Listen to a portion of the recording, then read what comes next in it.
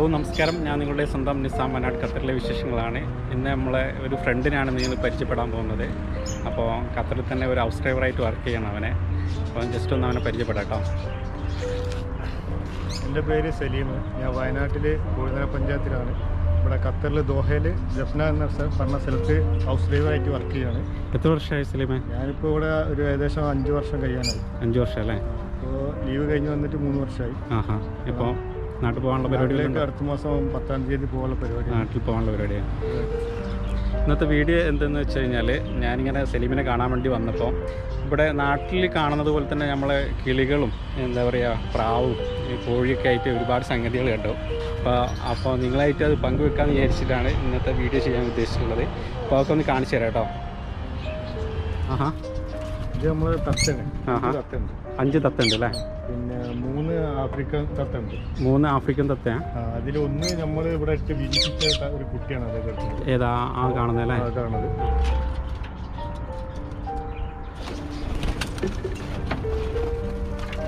അതായത് നമ്മുടെ കൂട്ടുകാരനാണ് അത്. അത് ഞങ്ങൾ എല്ലാവരും പാടി ഒന്നിച്ച് നിന്നിട്ട് ഉണ്ടാക്കുന്ന കാര്യങ്ങളാണ്. സപ്പോർട്ട് നമ്മളെ കഫീൽ ഫുൾ സപ്പോർട്ട് കഫീൽ തന്നെയാണ്. എല്ലാ സാധനങ്ങളും എല്ലാം വാങ്ങിത്തരും. ആഹാ ഹാ നമ്മളതിനനുസരിച്ച് കൂടുകളൊക്കെ നിങ്ങൾ തന്നെയാണ് സെറ്റ് ചെയ്തിട്ടുള്ളത്? ഞങ്ങൾ തന്നെ സെറ്റ് ചെയ്തത് മൂപ്പര ഐഡിയയിൽ നമ്മൾ സെറ്റ് ചെയ്യും. പിന്നെ ഇവിടെ സഹായിക്കാൻ വേണ്ടി അല്ല ഞാൻ ചോദിക്കട്ടെ മൂപ്പർ ഇൻട്രസ്റ്റിലാണോ നിങ്ങൾ ഇൻട്രസ്റ്റിലാണോ ഇത് ചെയ്തത്? ഇത് മൂപ്പര് ഒരു പിന്നെ ഞങ്ങളുടെ ഇൻട്രസ്റ്റ് ഞങ്ങൾ പറഞ്ഞു അപ്പോൾ മൂപ്പര് അതിനനുസരിച്ചുള്ള സാധനങ്ങൾ വാങ്ങി തന്നു. അങ്ങനെ ഞങ്ങൾ ഒരു ഇവിടെ നാലഞ്ച് ആൾക്കാരുണ്ട് ഞങ്ങൾ മലയാളികൾ അപ്പുറത്തും ഇപ്പുറത്തുള്ള അവസ്ഥയാണ്. അവരെ ഒരു കണ്ടീഷനിൽ മൂപ്പര ഐഡിയയിൽ വെച്ച് നമ്മൾ ചെയ്യും ഓക്കെ ഓക്കെ. അപ്പൊ അഞ്ച് തത്തകളാണ് ഉള്ളത് അല്ലേ? ഈ അഞ്ച് തത്തകളെ നമ്മൾ മേടിച്ചതാണോ? അല്ല ഇവിടെ മൂന്നെണ്ണത്തിന് നമ്മൾ മേടിച്ചിട്ടുള്ളൂ. ഇവിടെ ബാക്കിയൊക്കെ എങ്ങനെ ഇതിലുണ്ടായി. ഇവിടുന്ന് വിരിഞ്ഞുണ്ടായതാണ് അല്ലേ? ആഹാ ഓക്കെ. സലീമ തത്തകളല്ലാണ്ട് വേറെ എന്തൊക്കെയുള്ളേ ലവ് ബേർഡ്സ് ഉണ്ട്. അല്ലേ? ലവ് ബേർഡ്സ് ആറ് ലവ് ബേർഡ്സ് ഉണ്ട് ഫുള്ള് നമ്മൾ ഉണ്ടാക്കിയതാണ്. അതിന്റെ ഉള്ളിൽ കിടക്കുന്ന കൂടിന്റെ ഡിസൈൻ ഒക്കെ കഫയിൽ അതിന്റെ ഡിസൈനിൽ നമ്മൾ ഉണ്ടാക്കി മൂപ്പര ഐഡിയ ഫുള്ള് മൂപ്പര ഇവിടുത്തെ പഴയ എഡ്യൂക്കേഷൻ ഡിപ്പാർട്ട്മെന്റിലെ മുതിരാണ്. നമ്മളെ മാതിരി നമ്മളൊരു എന്താ പറയാ നമ്മളൊരു മോനപ്പോലെയും സഹോദരന്റെ മാതിരിയൊക്കെ നമ്മൾ കൂടെ നിന്നുകൊണ്ട് എല്ലാം പ്രവർത്തിക്കുന്ന ഒരാളാണ്. അപ്പൊ ഇതൊക്കെയാണ് ലവ് ബേർഡ്സുകൾ എത്ര ലവ് ബേർഡ്സുകളുണ്ട് ആറ് ലവ് ബേർഡ്സ് അല്ലേ? ആ ഹാ ഇവിടെ ഏതെങ്കിലും വിരിഞ്ഞിട്ടുണ്ടോ? ഇല്ല ബിരിയാണി ആയിട്ടുള്ളൂ ഇപ്പൊ ഞാനിപ്പോ അടുത്ത് സെറ്റ് ചെയ്തിട്ടുള്ളൂ ആ ഹാ. ഹാ അപ്പോൾ തത്തനെ കണ്ടു ലവ് ബേർഡ്സ് കണ്ടു. വേറെ എന്തൊക്കെയല്ലേ വേറെ പ്രാവുണ്ട്. നമ്മുടെ നാട്ടിൽ വളർത്തുന്ന പ്രാവുണ്ട്. അത് ഉള്ളിലാണ്. പക്ഷെ ഉള്ളിലേക്ക് നമുക്ക് അലോട്ട് ഇല്ല. ഹാ ഹാ ഹാ ഉള്ളിൽ ഒരു ഏഴ് വന്നര നൂറ് നൂറിന്റെ അടുത്തുള്ള ഒരു പ്രാവ് പ്രാവാളുണ്ട്. അത് ഞാൻ എന്റെ നിർബന്ധത്തിന് ഞാൻ ഒരു വർക്ക്ഷോപ്പ് പോയി.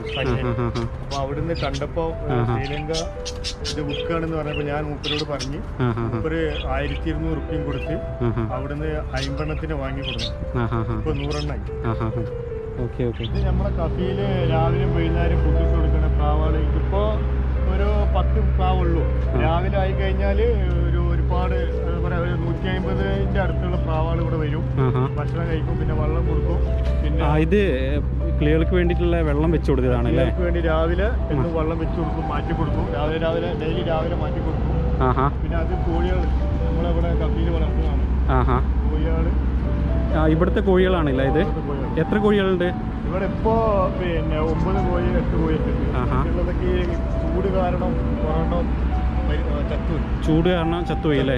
ഹാ ചൂട് എന്ന് പറഞ്ഞാൽ ഈ ഈത്തപ്പഴത്തിന്റെ ഇതിന്റെ അതെ അതെ അതെ. ആ ചൂട് കാരണം ചത്തുപോയി ഓക്കെ. പിന്നെ അതിനുള്ളിൽ ഇതെന്തിനു വെച്ചില്ലേ ഇത് വെള്ളമാണ് പ്രാവുകൾക്കുള്ള വെള്ളമാണ് പ്രാവുകൾക്ക് കുടിക്കാൻ വേണ്ടിട്ട് കുളിക്കാനൊക്കെ അല്ലേ?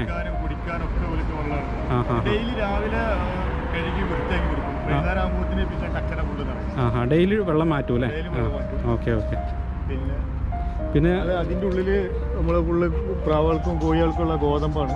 എവിടെയാ? ഫുഡ് വെച്ച് കൊടുത്തതാ? ഫുഡ് വെച്ച് കൊടുക്കുന്നത് ആ ഇതില്ലേ? ഈ കാണുന്ന നെറ്റ് അല്ലേ കാണുന്ന നെറ്റ്.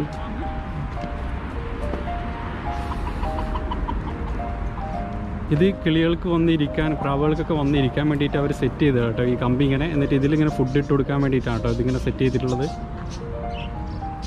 പിന്നെ അത് അവിടെ മജ്ലിസ് പണിക്കാർക്ക് വന്നിരിക്കുകയാണ് സ്ഥലം.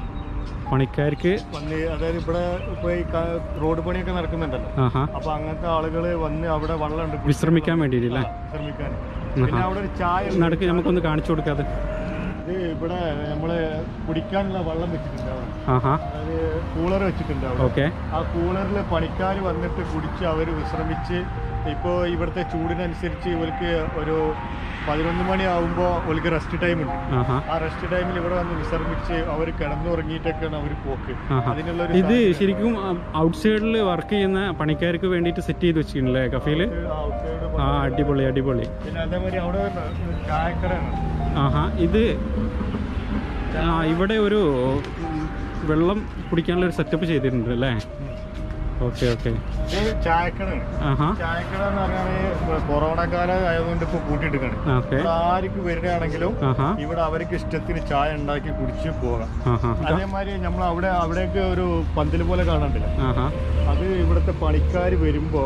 അവർക്ക് നിസ്കരിക്കാൻ വേണ്ടിയിട്ട് സെറ്റ് ചെയ്തിട്ട് ഇതിവിടെ നമ്മുടെ കൺസ്ട്രക്ഷൻ വർക്കിന് വരുന്ന ആൾക്കാരുണ്ട്. ഇപ്പൊ റോഡ് പണി ഖത്തറിലിപ്പോ മറ്റേ രണ്ടായിരത്തി ഇരുപത്തിരണ്ടിലെ ഫുട്ബോളിന്റെ ഭാഗമായിട്ട് വേൾഡ് കപ്പിന്റെ ഭാഗമായിട്ട് എല്ലായിടത്തും റോഡ് പണി നടക്കുന്നുണ്ട്. ഓക്കെ അപ്പൊ അതിന്റെ ഭാഗമായിട്ട് ഇവിടെ പണിയെടുക്കാൻ വരുന്ന ആളുകൾക്ക് വന്ന് നമസ്കരിക്കാനുള്ള ഒരു സാഹചര്യം നമ്മളെ കഫിയിൽ ഒരുക്കിയതാണ്. Okay okay ഐഡിയയിൽ?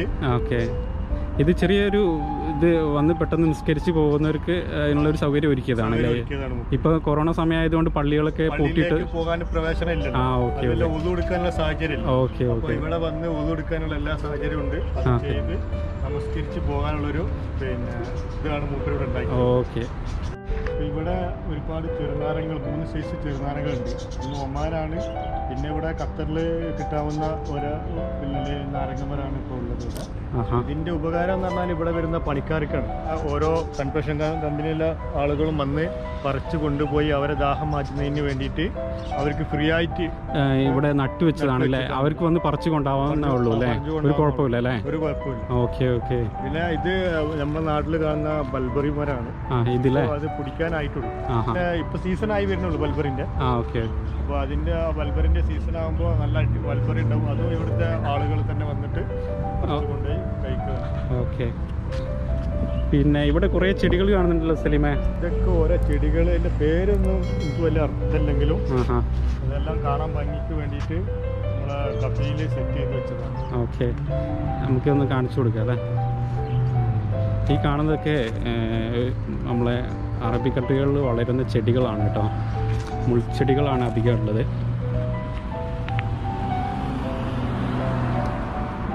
ഒരുപാടുണ്ട് കേട്ടോ.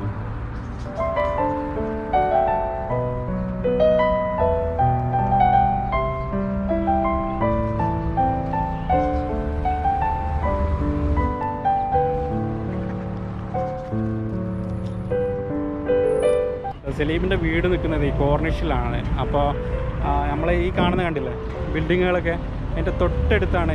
സലീം ഏത് ഈ ഏരിയ ഒന്ന് പറഞ്ഞു കൊടുക്കുമോ ഈ ഏരിയ ദബ്ന എന്നാണ് ഈ ഏരിയന്റെ പേര്. ഓക്കെ. ദബ്ന എന്ന് പറയുമ്പോൾ ഒരു ഏരിയയിൽ കുറെ സ്ഥലങ്ങൾ ഉണ്ടാവുമല്ലോ അതെ. അതെ ഇതിന്റെ ഇതിന്റെ പ്രത്യേകത എന്ന് പറയുമ്പോൾ എസ്താൻ ടവറിന്റെ അടുത്താണ്.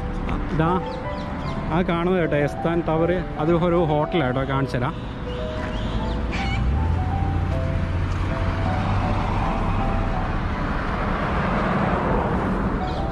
കണ്ടില്ലേ? ഇതാണ് അവരുടെ വീട് ഗാർഡനൊക്കെ ആയിട്ട് വരുന്നത്. ഇവിടുന്ന് ഇങ്ങനെ നോക്കിക്കഴിഞ്ഞാൽ ഈ എസ്താൻ ടവർ അതിന്റെ അപ്പുറത്താണ് നമ്മൾ കോർണിഷൊക്കെ വരുന്നത് കേട്ടോ. അതെ ഖത്തറിന്റെ മെയിൻ ഹൃദയഭാഗം എന്ന് പറയുന്ന സ്ഥലത്താണ് അല്ലേ ഇപ്പൊ നമ്മൾ ഒരുപാട് അറബികളൊക്കെ കണ്ടിട്ടുണ്ട്.